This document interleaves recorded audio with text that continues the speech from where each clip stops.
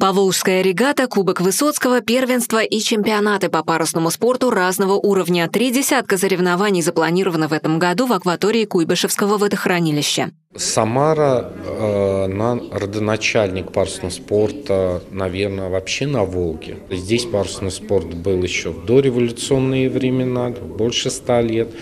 И спортсмены здесь и гонялись, и имели очень хороший уровень и обучение, хорошая школа, и, соответственно, сильные спортсмены, которые завоевывали медали на союзных регатах, на соревнованиях международного уровня. Основные достижения и перспективы развития парусного спорта обсудили в Самарском доме журналиста. Традиционно летом пройдет регата «Паруса дружбы», но в этом году соревнования впервые приобрели статус международных. Сейчас ведем переговоры с нашими ближайшими соседями, Белоруссией, Казахстан, Армения и прочие страны, где есть парусный спорт, которые к нам периодически приезжают. Вот, например, сейчас наши спортсмены участвуют в Минске в соревнованиях и как раз зовут их к нам. Из регионов на эту регату уже изъявили желание самый дальний это Калининград. Они говорят, с удовольствием к нам приедут погоняться, не были никогда на нашей акватории. Ну и наши ближайшие соседи тоже всегда к нам приезжают обязательно.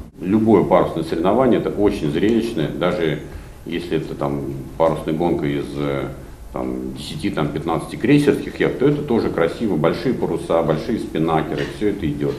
И мы в своей деятельности стараемся, чтобы большинство а, ну, как-то показать большинство соревнований проводить в виду города, чтобы люди видели, что парусный спорт это красиво, чтобы к нам приходили мальчики, девочки, большие спортсмены. В этом месяце ожидается майская регата, белый треугольник, Кубок Сызранского Кремля, мемориал Гунишова. В июне Усинская и Поволжская регаты. Далее Кубок России в разных классах. В июле первенство и чемпионат Самарской области, Кубок Высоцкого. В августе паруса Самары, Кубок Кульбицкого, Кубок Самарской области, первенство и чемпионат ПФО, международные паруса дружбы. В сентябре пройдет первенство России в самом массовом классе в мире «Оптимист», который соберет 240 участников. Также осенью пройдут чемпионат России и открытый Кубок Содружества. Светлана Кудрявцева, Константин Головин. События.